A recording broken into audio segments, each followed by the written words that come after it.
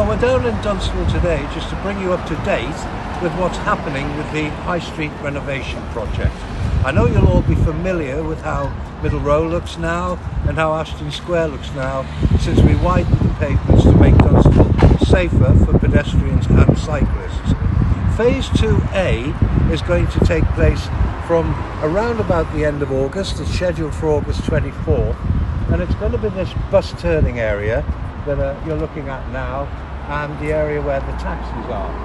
So going to Friars Walk, we're going to put a raised platform crossing to allow pedestrians and cyclists to be at the same level when they're coming down High Street South.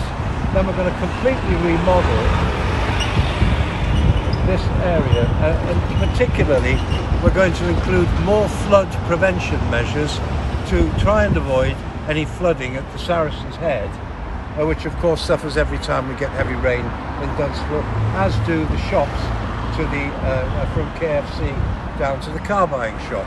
So a rain garden will go in where, uh, where just in front of where the taxis are, and we're going to remodel the bus turning area and provide two new bus bays actually on the high street itself.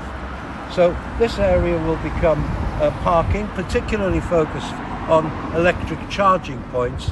And as I say, that area uh, will start in, uh, in or around the 24th of August.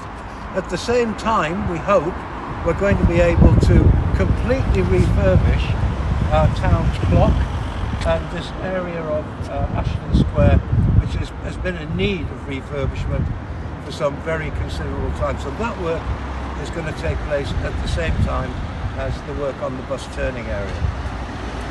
Right there, where we uh, currently have an informal crossing point uh, outside Priory House, we're going to be providing a zebra crossing, which should make things even safer for our residents.